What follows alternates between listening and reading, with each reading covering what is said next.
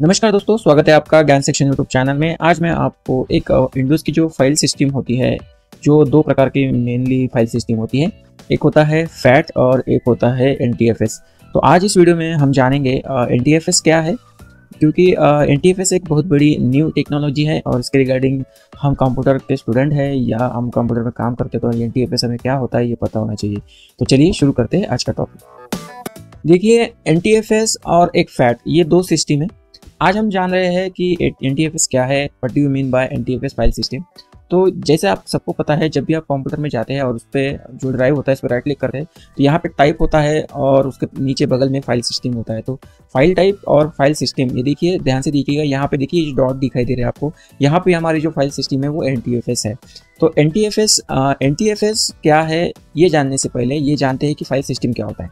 हम full form भी बताएँगे आपको, लेकिन पहले ये जान लेते हैं कि फ़ाइल सिस्टम क्या होता है? क्योंकि NTFS ही एक फ़ाइल सिस्टम प्रोग्राम है। इसी के लिए हमें पहले जानना पड़ेगा कि फ़ाइल सिस्टम क्या है। तो देखिए, आप सबको पता है, किसी भी स्टोरेज डिवाइस जैसे हार्ड डिस्क हो सकता है SSD हो सकता है या पेन ड्राइव हो सकता है, उसमें डाटा को स्ट्रक्चर और मैनेज करने के लिए स्टोर करने के लिए फ़ाइल सिस्टम का उपयोग किया जाता है। जैसे मान लीजिए आपके हार्ड डिस्क है एस इसमें कोई भी डेटा होगा, वो किस तरह से रहना चाहिए? जैसे कि फ़ाइल की साइज़ कैसे हो और ज़्यादा से ज़्यादा कितनी फ़ाइल की साइज़ हम उसमें रख सकते हैं, फ़ाइल का नाम किस तरह से दे सकते हैं, ये सब उस फ़ाइल सिस्टम के ऊपर निर्भर करता है। अगर ये फ़ाइल सिस्टम ही नहीं होगी तो हम उस पर डाटा स्टोर नहीं कर सकेंगे डाटा स्टोर कर भी लेंगे तो किस तरह से, क्या फॉर्मेट में कर सकेंगे, ये हमें नहीं पता चल पाएगा।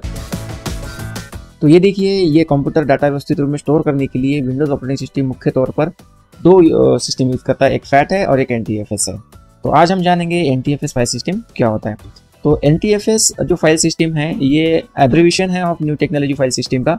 और ये file system was develop by Microsoft to meet requirement of business application and introduce in July 1993 with Windows N 3.1 तो ये इंट्रोड्यूस किया गया था 1993 में और इसका फुल फॉर्म होता है न्यू टेक्नोलॉजी फ़ाइल सिस्टम तो यहाँ पे आ, हम सबको पता है कि आज NTFS सबसे ज़्यादा यूज़ किया जाने वाला फ़ाइल सिस्टम है जो कि Windows ten, eight, Windows two thousand में भी प्राथमिक फ़ाइल सिस्टम यूज़ किया जाता है। एन के पास क्यों यूज़ किया जाता है? क्योंकि उन्नत डेटा संरचना है और ये 256 डेटा की मेमोरी के साथ में सपोर्ट करता है। 256 टीबी डेटा बहुत होता है दोस्तों।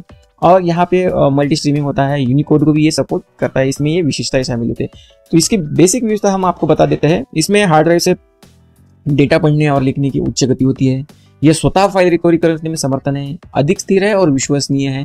और ये नेटवर्क पे भी डेटा को साझा और एक्सेस किया जा सकता है। इससे फ़ाइल इंक्रिप्शन सुविधा मिलती है, व्यक्तिगत फ़ाइल और फोल्डर उसकी उच्च सुरक्षा है, ये डुअल बूटिंग सिस्टम के साथ में भी आता है। तो इस तरह से आज हमने आपको एंटी फ़ाइल सिस्टम के बारे में बताया।